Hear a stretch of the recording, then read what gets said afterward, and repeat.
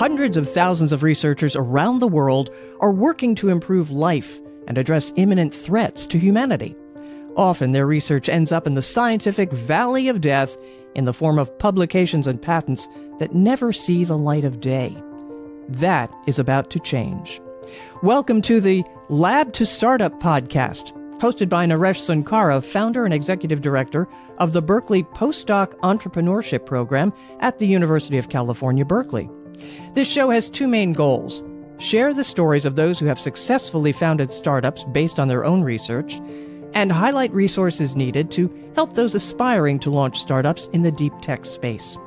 Whether it's electric cars, vaccines, addressing climate change concerns, or possibly establishing life on other planets, Naresh and his esteemed guests want to help scientists, engineers, faculty, and researchers bring their innovations to market.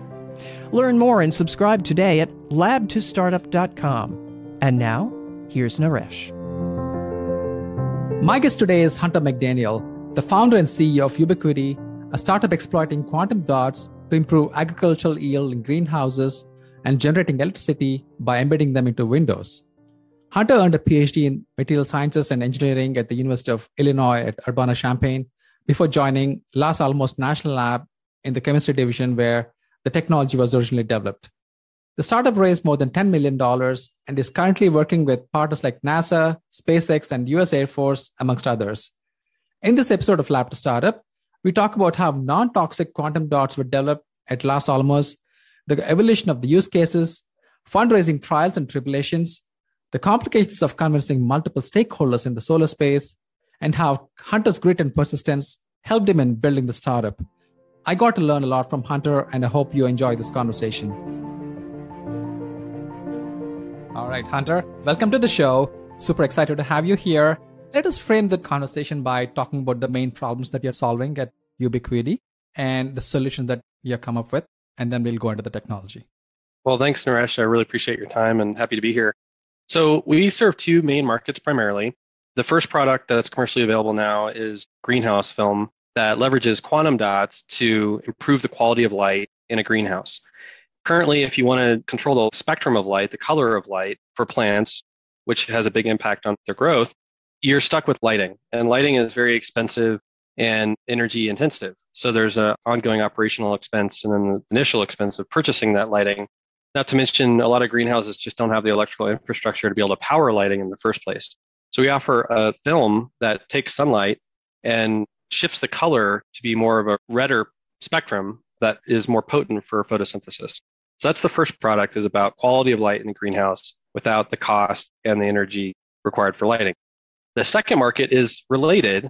It also involves using quantum dots in the facade of a building, but in particular in glass and windows, primarily for commercial buildings, could be residential, but it's the windows. And in that case, it's more about really harvesting sunlight to generate electricity.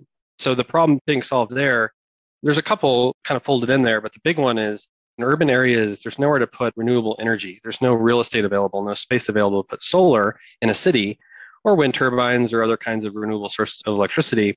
But there is plenty of glass, especially in cities. If you just look around, you'll see these tall buildings are just completely covered in glass. So the idea is that can we leverage the ubiquitous glass on the facades of buildings to power those buildings ultimately? So it's renewable energy for urban areas while maintaining transparency so that it could be facade integrated. And those do seem very different, but they both leverage a fluorescent material called quantum dots that partially absorbs sunlight and then manipulates that right directly on the facade of the building, ultimately for energy efficiency. Wonderful. Maybe you can talk about what quantum dots are and how we are using them here. So I'm a big quantum dot nerd. I could talk about this for days, and I'll try to spare you the details. At the highest level, it's a fluorescent material. And fluorescence is a process by which light is absorbed and then re emitted as a new color. Some classic examples of fluorescent materials would be like your highlighter pen. When you mark the page, that highlighter color really pops. And that's because the ink is actually emitting light. It's absorbing light that's impinging on it, but then re emitting it. So when you see things that are neon or popping in their color, that's often because of a fluorescent effect.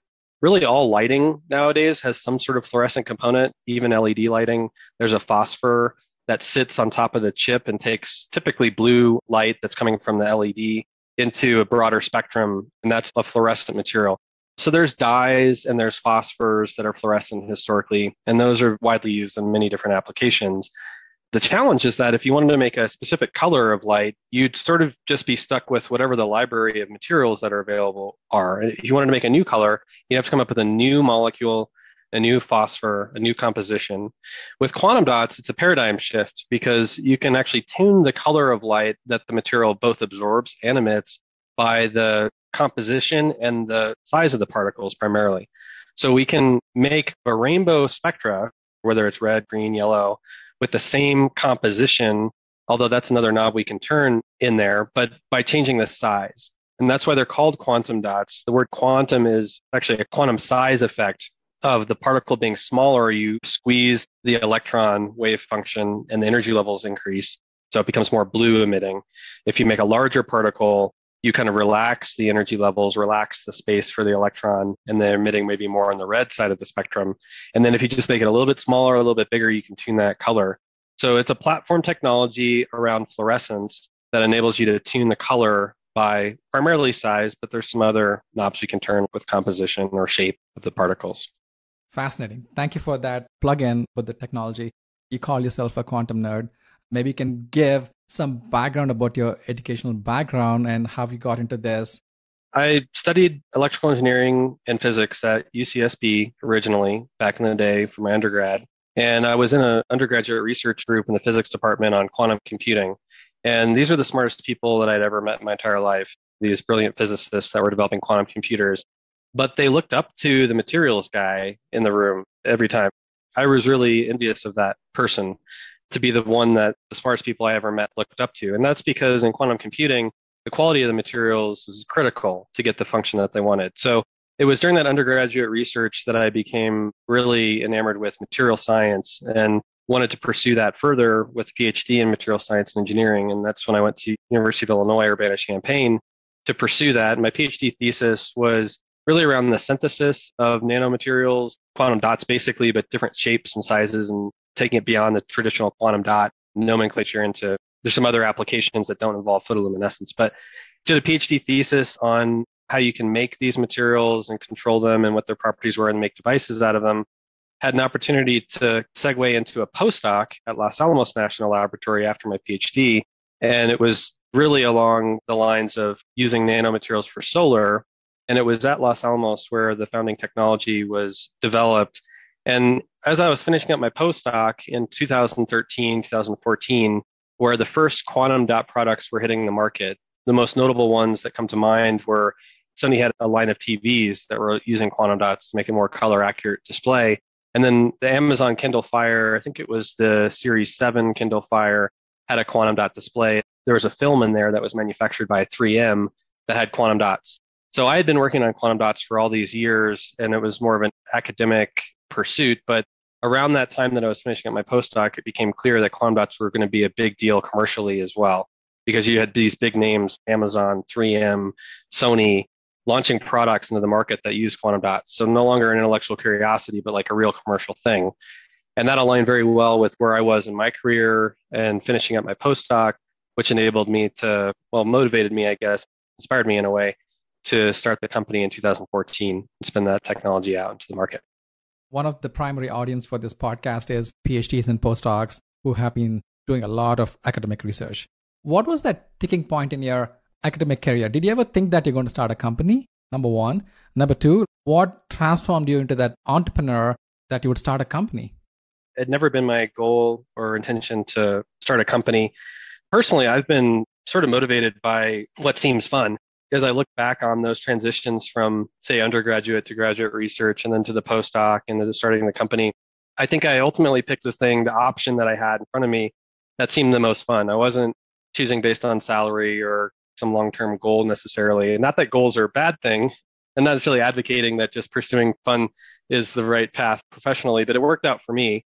It was really coming to the end of my postdoc where I was exploring all the options. And the traditional option that most people think of if you finish postdoc is you're going to become a professor, faculty. It's extremely competitive. The odds are actually fairly low that you're going to be successful, but you throw a lot of darts at the board. I think I submitted something like 50 plus applications to become faculty. And I made it pretty far along in those processes, was negotiating an offer with one university when I started the company. So it was looking for different options at that time when I was finishing my postdoc and pursuing the obvious one. But what happened was a little bit serendipitous with the research I was doing at Los Alamos. We were working with Sharp Corporation as a corporate sponsor. They were part of the reason why we were looking for a safer compound because they had given us feedback that cadmium and lead based quantum dots that we had been working on previously and they had funded some of that work were not going to be viable in the marketplace. So when I came into Los Alamos, it was really my job to go find the alternative, develop the alternative and developed a really close relationship with the folks at Sharp. It was a very productive relationship. We had a number of patents that were filed. We had a record efficiency for a type of solar cell that we were developing at the time. And I was fairly optimistic that they were going to carry that forward into the marketplace. But it was at that time that Sharp was falling on hard times in the market. And if you go to Best Buy or whatever and look for Sharp products, you won't find very many these days. There's kind of a long story there, but what it boils down to is that they were pulling back aggressively in 2014. I think they more or less shut down their North American operations and they weren't saying that they were going to do anything with the technology. So the tech transfer office approached me and said, Would you be interested in starting a company? And I said, I hadn't really thought about it. It's actually a pretty interesting idea. So I started looking into what that would involve and actually it seemed like there were a lot of parallels between becoming a faculty member and becoming an entrepreneur. It might not be so obvious but in the early days it's all about pulling in funding building a team doing a lot of research and development and that was all very exciting to me. So i saw starting a company as almost like another faculty application. Let's just play that option out and see if it makes sense and things clicked together i was able to get the blessing of los alamos that this was okay with them and that Sharp Corporation was going to withdraw their right of first refusal, if you will, to the technology. And then I went and did my own diligence on intellectual property in this space. And I found that there were some background patents that were filed some years before by MIT. So I reached out to the MIT tech transfer office and asked them if this technology was available for licensing. They said it was. So I was able to get freedom to operate basically by doing my own homework on the IP background getting those blessings, if you will, of approval to at least potentially be able to take a license. And then I launched the company. And when I told the university that I was in the final stage of negotiating the offer that I had started a company, they weren't too happy about that. I was a little bit taken aback by it because when I interviewed with them and did the whole process, they were highlighting how all their faculty had started companies and it was very much a positive thing if they had these gigs on the side and stuff. So I figured, oh, well, they're going to be excited about it. But it wasn't taken that way. They got really worried that I'd be distracted and wouldn't be able to juggle the two things at the same time. And they were right. I didn't realize at the time. They got really sort of shocked by it. And I was getting increasingly excited by it at the same time. And actually, I really wanted to stay in Los Alamos. Wasn't really any other great options besides working at the National Lab to do that. So everything sort of clicked together and started the company. Let's take a step back. So you decided to start a company and there was all these companies, Sony, Amazon using quantum dots for their products. And you mentioned something about Sharp using cadmium and lead quantum dots. What was the issue with those existing quantum dots and what did you have to work on? And how did that translate into a startup? Did that play a role at all, or is it a part of the IP that you got from Los Alamos? it was originally driven by just toxicity, honestly. So those first products that I mentioned, the Sony TV and the Amazon Kindle Fire, had cadmium based quantum dots in them. It clearly was acceptable under certain circumstances to have cadmium based quantum dots in products. And those had to do with the benefits that those quantum dots brought outweighed, at least in the eyes of the regulators, the compromise on toxicity. There are regulations in Europe, for example, that ban cadmium. I think it's below 10 parts per million in electronics, but they had a carve out, an exemption for displays and for lighting because of quantum dots. And there was really interesting argument that was being made that the energy efficiency improvement caused less coal to be burned. And when you burn coal, the burning of coal releases cadmium into the environment. So they were showing this calculation that by using cadmium in these consumer products it was actually resulting in less kind of crazy, but it worked. But you can see where my head was at the time, which is that's a lot of spinning a narrative and dancing around regulations. And those regulations are for good reasons. There's a lot of toxicity concerns there. So the idea was that, okay, maybe you can get away with that in some applications, but in other applications, a lot of the markets that had been proposed for quantum dots simply couldn't be accessible. It was a non starter to have those compounds present. And for some companies, Sharp being one of them, Samsung being another, they just simply draw a line there and say, we are not going to cross that line. We're not going to put cadmium into any of our products.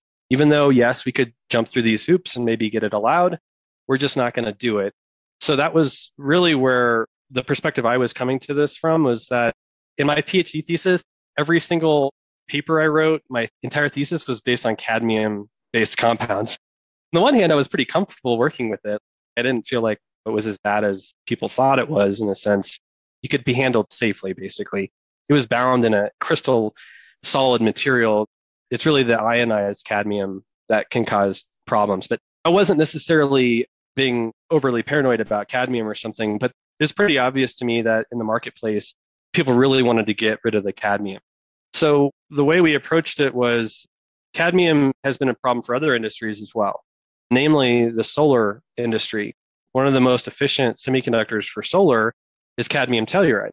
And actually, one of the largest solar companies in the world, maybe the largest, is First Solar. And First Solar manufactures cadmium telluride solar cells. But they have significant constraints around how those solar cells can be used. They have to be recycled. So the solar industry was highly motivated to find an alternate to cadmium telluride, thin films semiconductor, which work much better than silicon, by the way. That's a whole other story of why silicon is so ubiquitous in solar. It's an indirect gap semiconductor. You need a lot thicker material to absorb all the sunlight, like orders of magnitude thicker than you would with cadmium telluride. But anyway, the way that the solar industry approached that was if you look at the periodic table, you can kind of see that you could balance the charge of cadmium by replacing every two cadmium ions with a copper and indium ion. They kind of straddle cadmium on the periodic table. Cadmium is a group two element, copper is a group one element, and then indium is a group three. So basically, two group two elements, you get two times two minus, could be balanced with a group one, one minus, and then a group three, three minus. So copper and indium together chemically look a lot like two cadmium ions, but they don't have that toxicity aspect. So this is widely known in the solar industry as CIGS.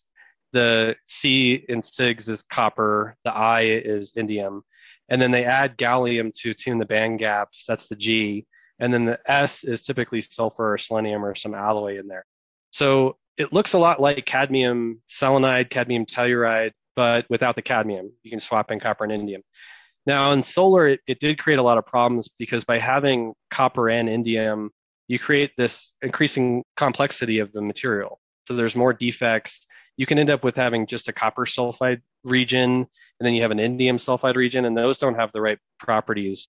You really have to have copper in the crystal lattice, alternating copper, indium, copper, indium, copper, indium. Otherwise, you end up with a lot of defects and a bad material. But this had been somewhat figured out in solar, and that's CIGS. So we thought, well, maybe we can make quantum dots out of CIGS. And that was where MIT led the charge. They were the first ones to report making nanocrystals out of copper indium diselenide and copper indium disulfide out of the Bawendi group. They just did this one short paper in the Journal of American Chemical Society. The quality of the material wasn't that good. It was about 30%, 20% efficient at emitting light, but they had proven the concept, filed a patent, published the two page paper, and then they kind of moved on to some other projects and didn't do much else with it. But we had found that paper, and I didn't know until later that there had been a patent filed, which is why I, when I did find that out, I went to MIT and asked about that.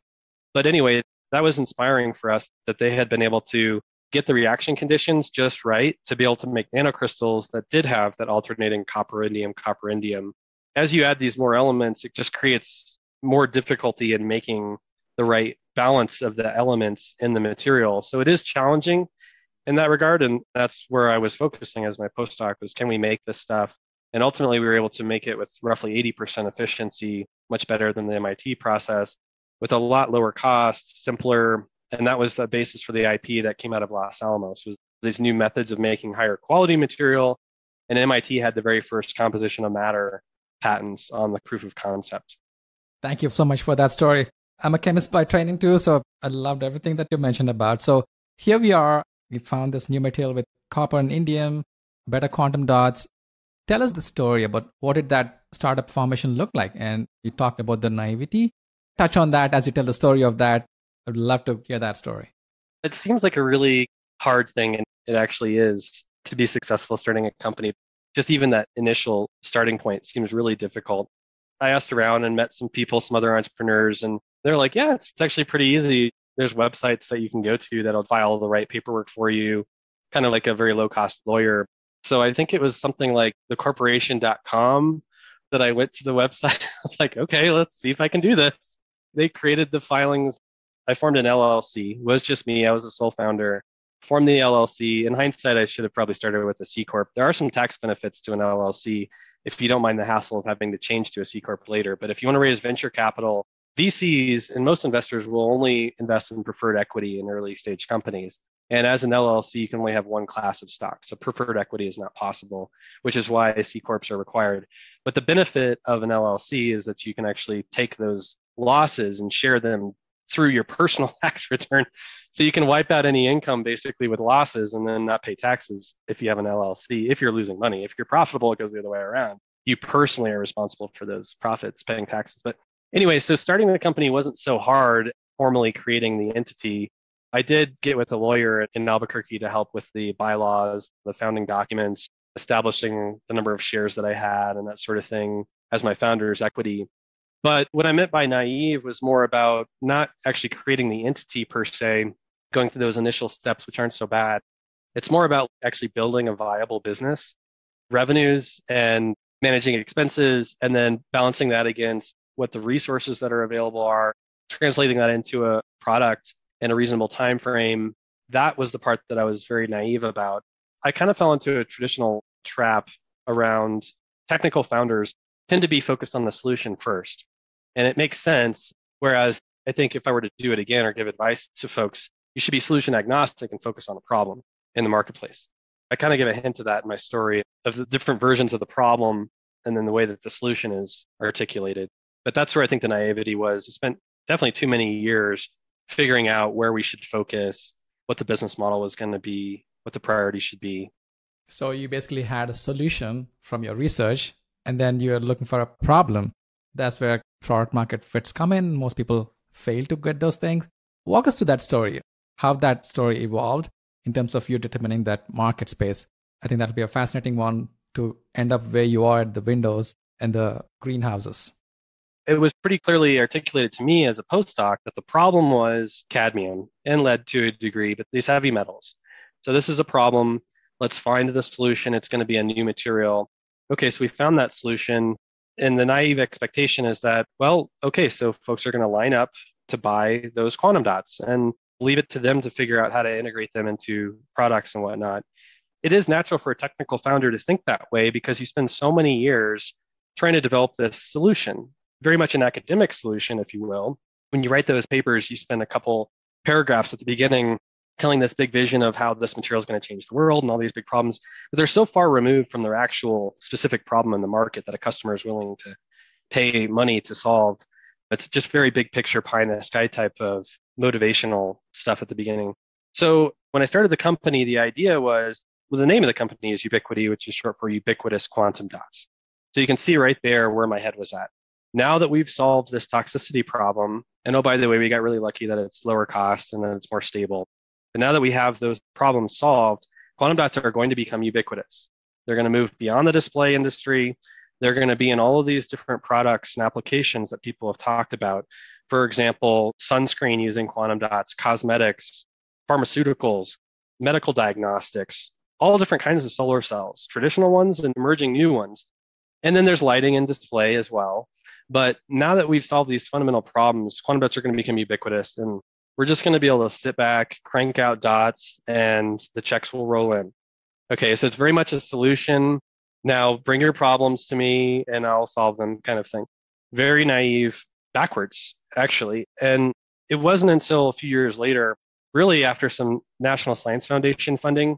So in those early days, the hardest thing, and even beyond the early days, the hardest thing is financial resources.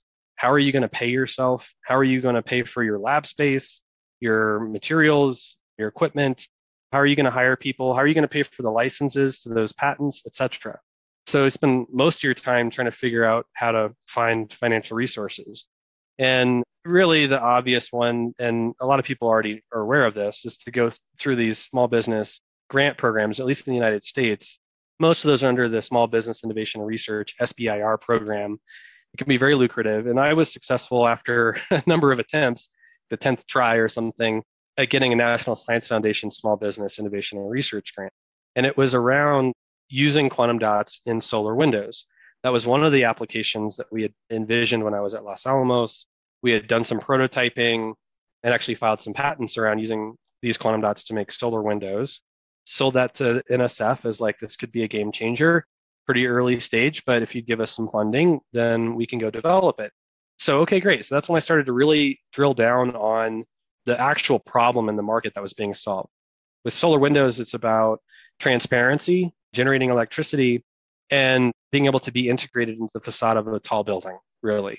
For a single story building, you can put solar on your roof. If you're in a non urban area, you can put solar next to the building. So solar windows aren't really needed as much. There are some use cases there too, but it's really in those urban areas where you can't put solar anywhere else. The rooftops are small compared to the size of the building. And anyway, you're using that for leisure spaces and HVAC systems and such. So anyway, that was the skyscrapers was going to be the market for solar windows and that's what we pitched to nsf and they came back and said okay that's great and we'll give you some seed money to go pursue that congratulations you can start paying yourself a small salary but we want you to go through this customer discovery bootcamp process not that we don't think skyscrapers is a bad market it's just a bit much maybe to bite off as a first market for a small company so what we'd like you to do is be open minded and explore all the different types of customers and applications for a solar window. See if you can find a niche market that you could start with. And I've always been a fan of Peter Thiel's philosophy on startups. And one of the things he says is that every great company starts by dominating a niche. For example, the classic one is Amazon and books. Now Amazon sells everything you can imagine your groceries, your, well, you name it. You can stream videos and download music and they sell everything. But if they didn't start by selling everything. They started by selling books and they became the leader in that space. Okay. So that's what we should do too. We should find our niche, dominate it, and then expand from there. And that's where we started really drilling down even more. Customer discovery involves interviewing potential customers or value chain stakeholders.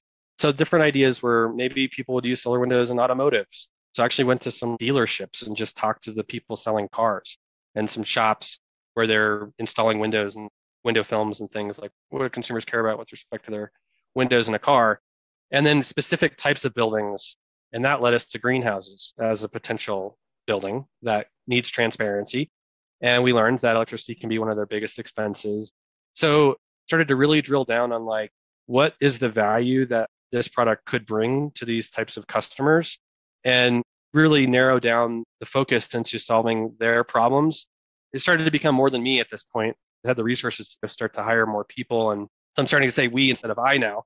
And together we identified that the greenhouse market was interested in electricity generation in the facade, but they were more interested in maximizing their crop yield. When we asked them about how would this impact you if we could generate electricity so many watts per square meter, so that'd be great, but we are not willing to compromise our crop yield at all. And we said, well, maybe with quantum dots, we can tune the color so that we don't affect the plants, but we can still generate electricity. And then we started studying how plants respond to the color of light and had this aha moment where maybe we can actually just make a facade material that shifts the spectrum of light and boosts crop yield and just forget about electricity for a minute. It's going to be a simpler product. It's just a fluorescent material on the structure of the greenhouse. When we asked the growers about that, they started to get very excited that very low cost way to boost crop yield sounds great. Started doing math on if we boost their yield of tomatoes by 10%, how much would that be worth? And how long would the product have to last, etc. Started doing some studies on that. So it was a little bit of a, I don't want to say a pivot because we continued along the path of solar windows within NSF, but we developed this whole new line of business around greenhouse films that actually came to market faster as a result of that. And that's where I get into like, there's really a problem there that we're focused on solving and tailoring the solution to fit that problem. And you may find that there's a better solution out there. So you should be solution agnostic. And I always recommend to founders start a company, to solve a problem, not to push a solution.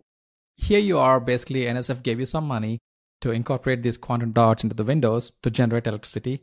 And you came out with that product and also something that will increase the yield of agricultural produce in greenhouses. Can you give us a sense of what is the level of electricity you can generate with your product and also the levels of increase that happens in agriculture production?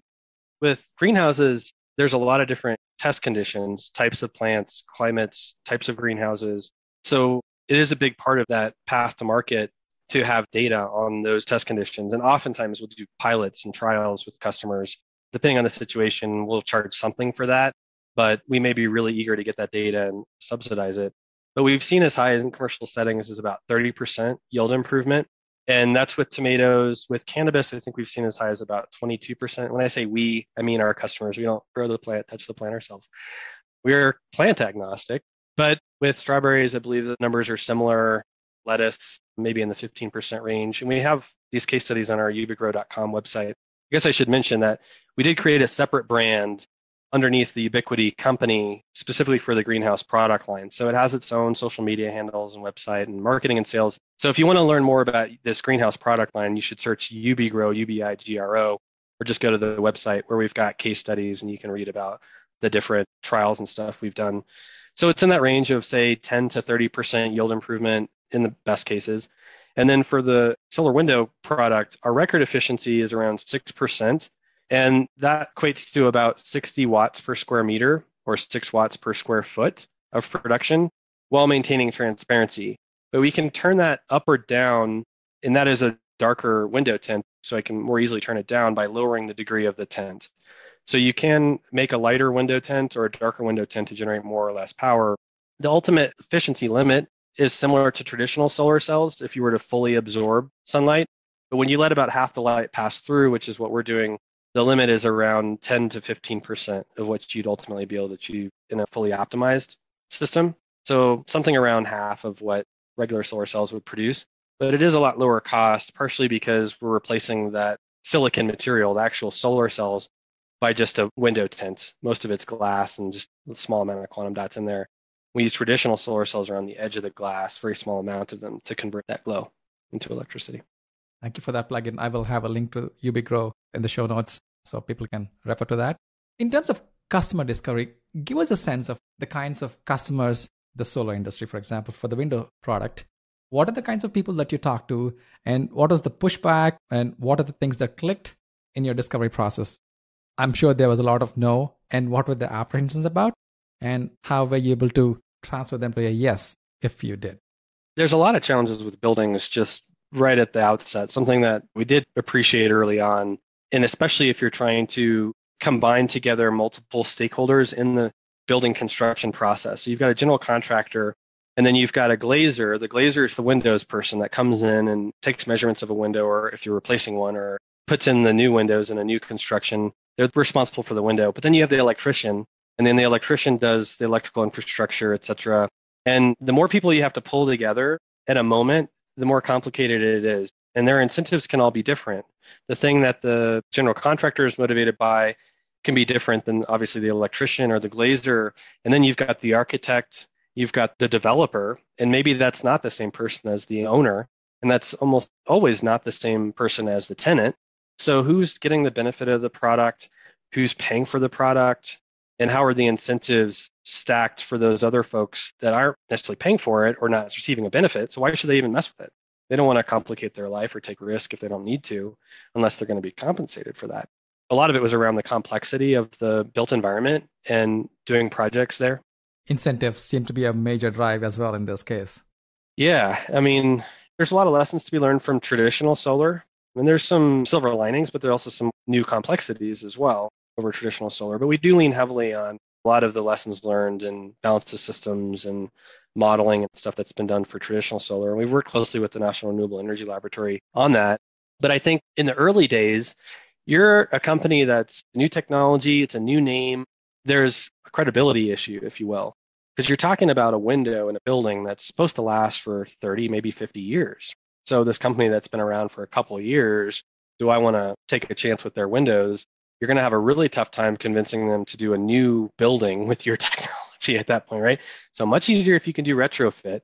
But then if you're doing retrofit, that changes the value prop. You're not going to be able to tap into the electrical grid very easily with a retrofit because you're not going to rip apart the walls. Very unlikely they're going to let you do that. Another big challenge is just simply making something big enough. Usually, solar, if you look at the record efficiencies of solar panels, solar technologies, that get reported are far less than a square centimeter. If you make a solar cell the size of a square centimeter, you actually graduate to the next level chart. Those get a little bit more street cred if you make a centimeter by a centimeter solar cell.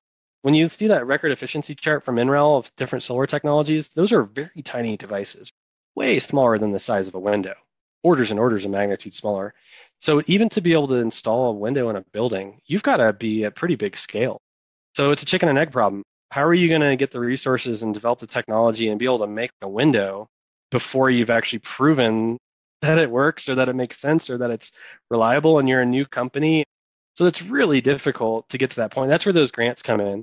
So we were very fortunate to get into a phase two grant with the national science foundation.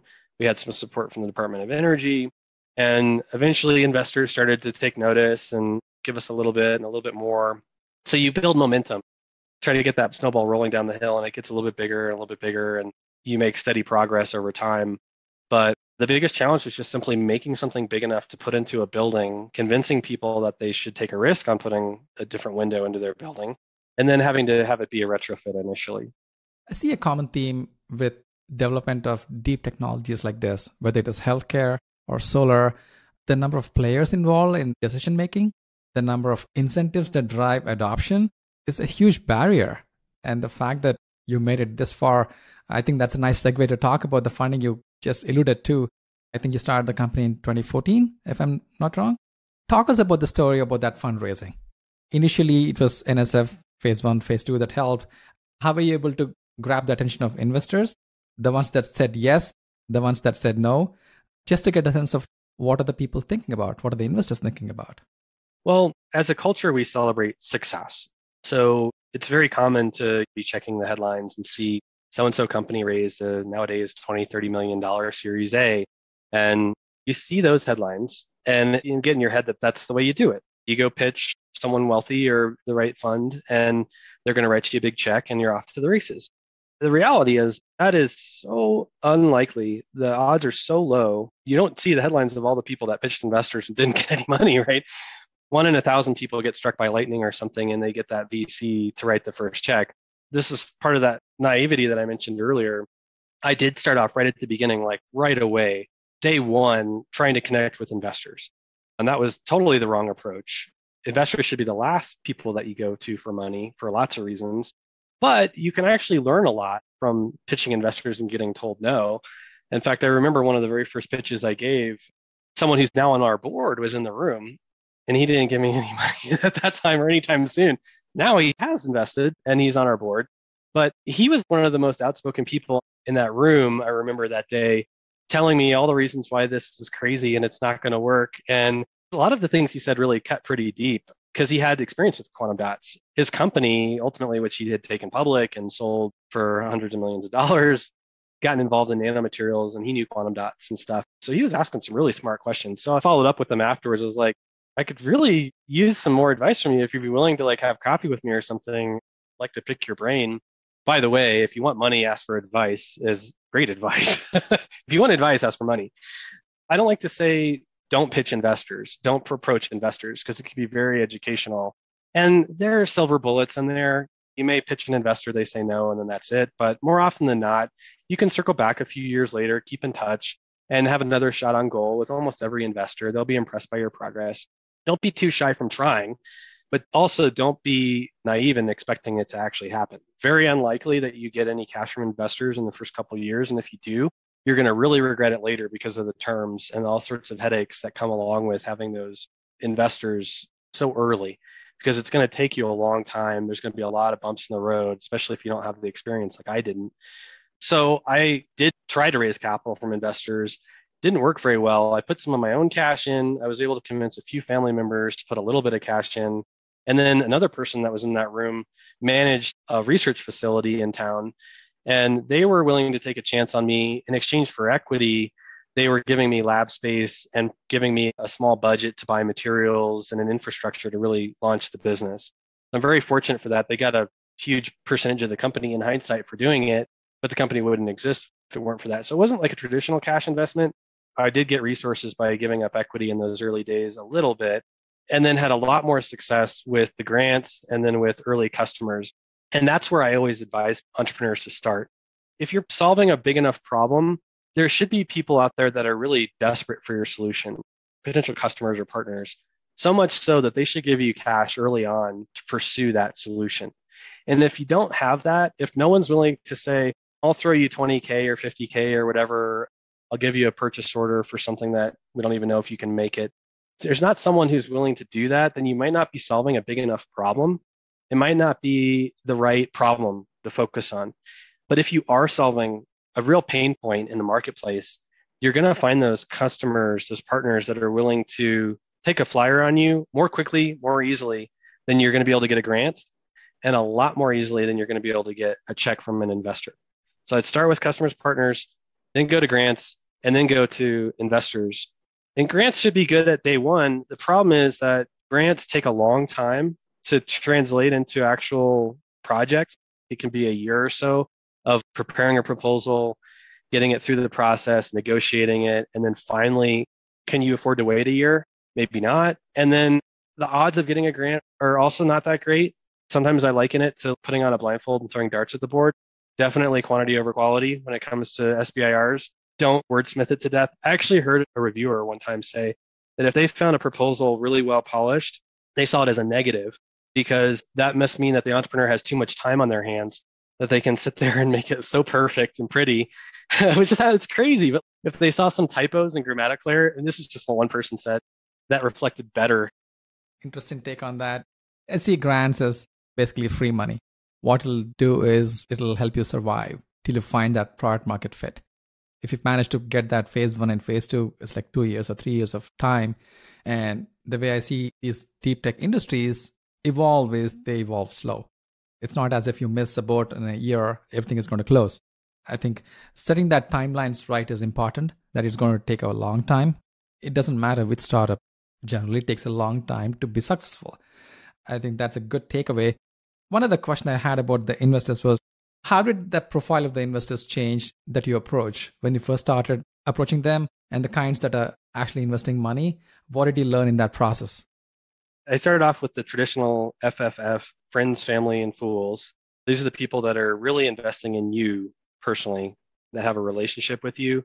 Well, that's the friends and family. And then the fools are just, fool is a bad way to put it, but just is really willing to take risk that believes in maybe it's you, maybe it's the technology. So that's where you start off if you're going to raise capital in the early days. And those may not be the best investors, honestly. You don't want to take a big risk with your friends and family money. Lose money for them, you're going to maybe hurt some personal relationships and make Thanksgiving so comfortable. And then the fools part, I hate that word fools, but it can mean that you have some eccentric personalities or some people that want to be more hands on, more involved, and have a phone call with you all the time. And have their hands in it. And that can be just a distraction, if nothing else. So you really want to avoid that whole first category if you can. And then you get into like the really small funds, the seed funds. Accelerators have become very pronounced these days. It's sort of like a seed fund. Accelerators usually give you some cash up front, but then they have you go through a program. Sometimes they'll give you a facility, a space where you can start off for six months or a year or whatever. Have you gone through any in that process? We did two that were sort of virtual, so not physically located there. The first one was Breakout Labs, which was a Thiel Foundation fund. Peter Thiel had created this back in the day to support deep tech founders like myself. And we had, I think it was $350,000 from them, and then went through a program and had a lot of support, but didn't actually physically relocate to San Francisco where they were based.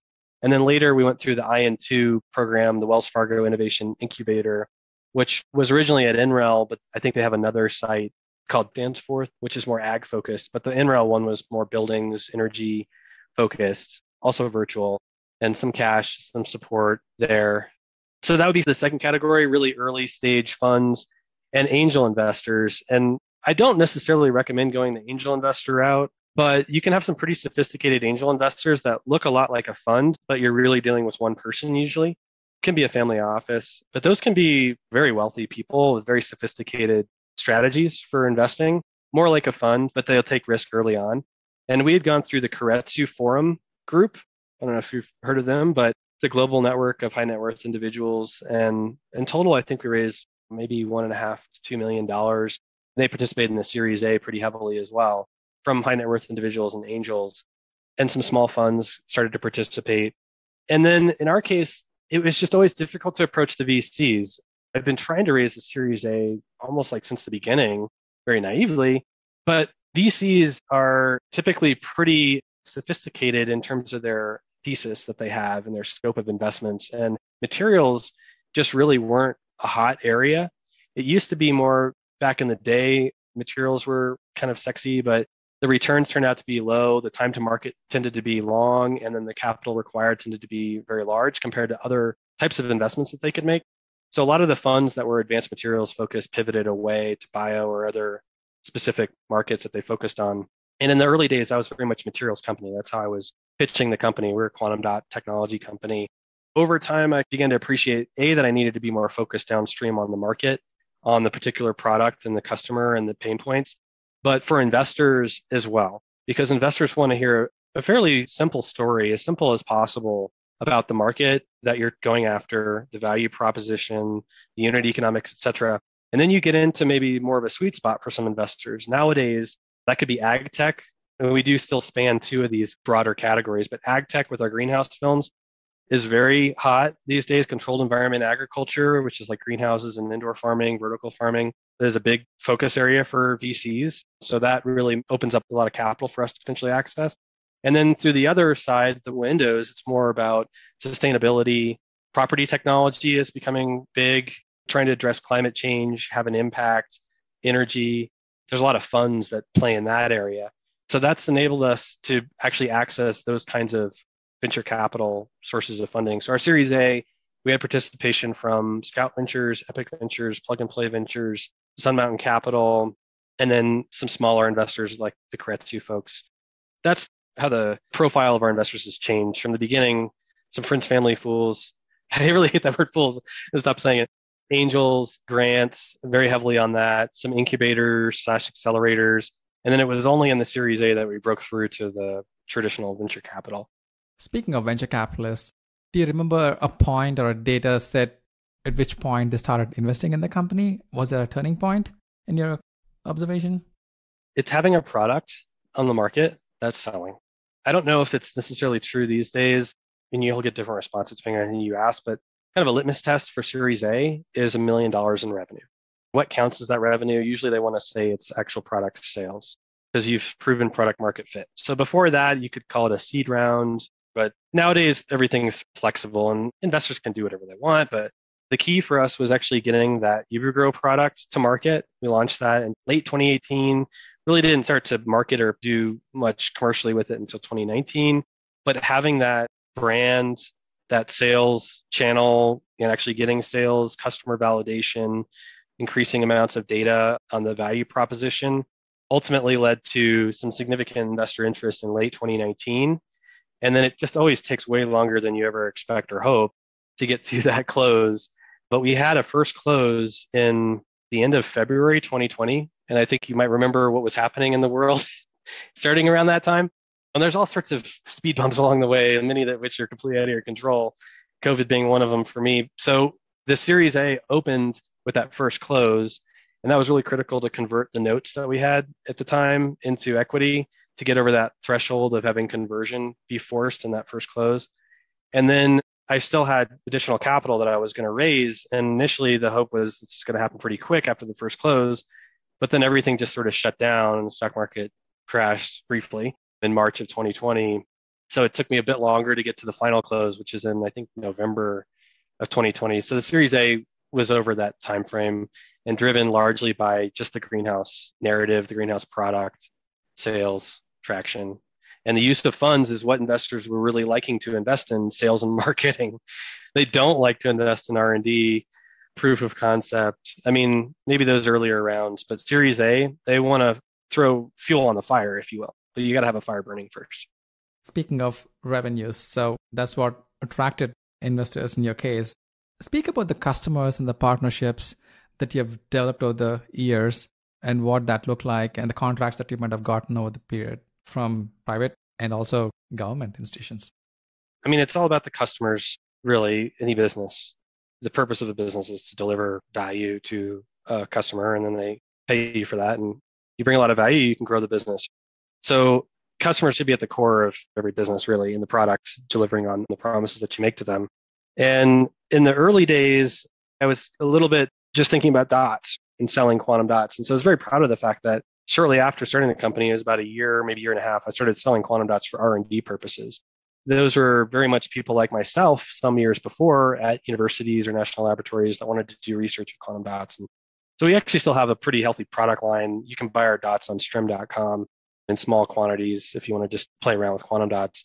But I think what you're getting at is more like the UbiGro product. The window product line is not commercially live yet. We have commercial installations and we've charged for some of those and increasingly so, but it's not something that you can go buy online like you can our greenhouse film. You can actually go to like the web store and buy quantities of the film and get it shipped the next day. For larger orders, you know, you talk to our sales team and we can negotiate whatever the details are. But for those customers, it's really about greenhouse operators. The user is the operator. The owner may or may not be the one that is driving the purchase, but you have a similar problem to the Windows one around who's receiving the value, who's paying for it. But more or less, it's the greenhouse operator. They want to maximize the productivity of their asset, the greenhouse, and maximize their revenue, maximize their profit. So we provide a product. There's a purchase price, obviously. And then we focus on those customers where the payback time is less than a year. So we've done the homework with them on their economics, or we understand their business, at least we think we do well enough that we can say, okay, so you get to a 10% crop yield, and we know you're in this market, tomato market, selling wholesale, or maybe you have a fraction of direct sales like farmers markets or whatever for smaller growers. And then we can articulate how much profit a typical farm like yours would have a baseline gross margin, but then on that additional revenue that you get, say boost your yield 10%, you get 10% more revenue but then there's a margin on that and we've studied that so anyway we help walk the customer through that value proposition of you buy this product and with these assumptions you'll have a payback time of so and so and for some customers that might actually be two or three years because we're at a higher price point today or maybe they're more of a commodity market that they sell into and we won't really push it much further than that. We have been surprised by customers that aren't so hung up on that early on. They want to get their hands on the product, the new technology, and they're optimistic that we will get our cost down over time and they want to be an early adopter and stuff. So it doesn't necessarily always come back to that one year payback time, but we've studied the markets, the crops, and we understand how it performs in different climates somewhat well. And we go after those customers where we know it's a slam dunk, where they can have a quick payback and try to dial in exactly what they care most about, and that's crop yield. You basically have to learn agriculture and the yields as well. It becomes your responsibility as a company. And along those lines, what roles did partnerships play in your life of the startup? Any interesting ones? For a materials company, it's absolutely essential. And the thinking has evolved about our business model over time. Initially, it was completely dependent on partners in the sense that we're only going to make quantum dots, then we need a partner who's going to receive those and use them in some way. But it's really difficult in those early days to get someone to buy into a completely new idea and handle these nanomaterials, et cetera. So we had to do a lot of heavy lifting downstream. It was good for us too to develop the finished product, develop IP around it, understand how it needs to be handled and processed and what the cost would need to be, what would the market accept, and all that sort of thing. So we do need partners because at our core, we are really a materials, that's our core competency and not necessarily agriculture. I view customers as partners, but more importantly, I think what you're getting at is value chain stakeholders. Greenhouse film is much simpler than the Windows one. Quantum dots can be supplied as an additive into the polymer film manufacturing process. And usually that's only a few steps away from the end customer at that point. So the way we do it today is we work with a contract manufacturer that receives our quantum dots in a form that they can receive we give them a recipe basically for the polymer formulation that the dots are happy in.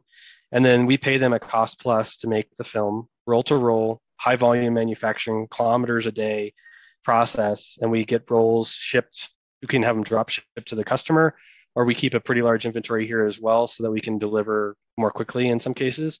And those partnerships are critical. In that case, is more of a toller. It could be distributors as well. If the customers prefer to buy through a distributor, that's just how they're more comfortable. And then with Windows, you can add another five to arguably like maybe 10 steps in the value chain.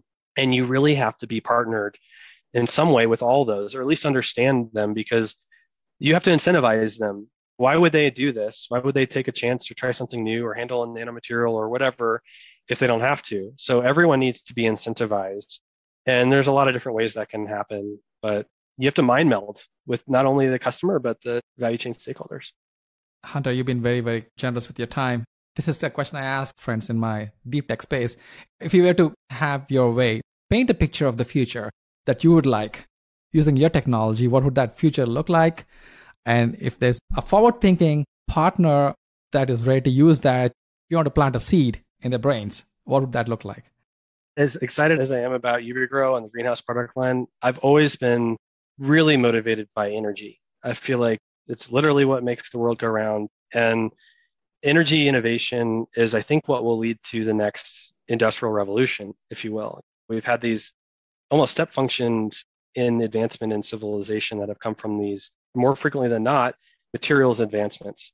And I think energy presents a fundamental challenge for the human race. It's even more acute now with climate change. But before climate change, we just fundamentally had a challenge around how are we going to power ourselves in a way that's not damaging to the environment and is accessible to everyone on the planet, not just in more developed countries.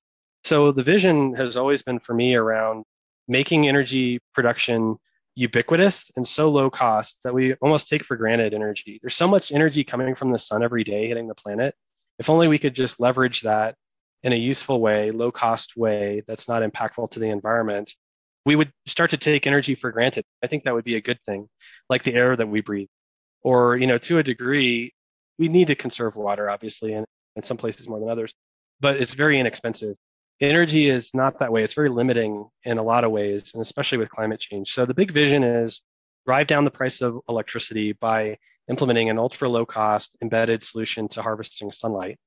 And along the way, we can make agriculture more efficient and have a lot of really cool applications, other ways of bringing value with quantum dots. But the big vision for me is really powering cities with glass and making the cost of energy negligible to the point where we almost take it for granted because we do get so much of it from the sun, plenty, more than enough. We just don't know how to harvest it efficiently.